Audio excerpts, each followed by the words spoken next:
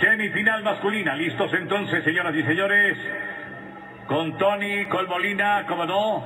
Vamos a ver cómo le va al colombiano. Y aquí viene ya el suceso. Exactamente, el canadiense es el que se pone al frente con Tony.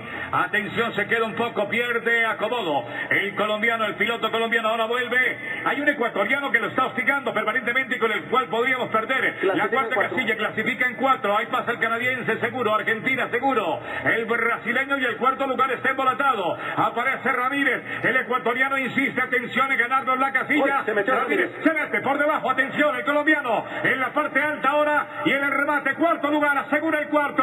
Ahí va, ahí va el colombiano y se metió. El chico Ramírez, el juvenil del que hablaba Joana, se mete entonces entre los cuatro clasificados en la semifinal. Eran ocho para cuatro casillas. El colombiano arrancó bien, se metió en la línea de carrera, venía segundo, tercero, perdió en uno de los peraltes y sobre el remate logra superar, creo que al chileno, y alcanza la cuarta casilla. Clasifica Colombia a la final. Primero Canadá, segundo Brasil, se metió el argentino en tercer lugar y Colombia obtiene la cuarta casilla a la final. Tori, el hombre de Canadá, es actual subcampeón del mundo en la categoría élite y es un hombre con una técnica bastante buena.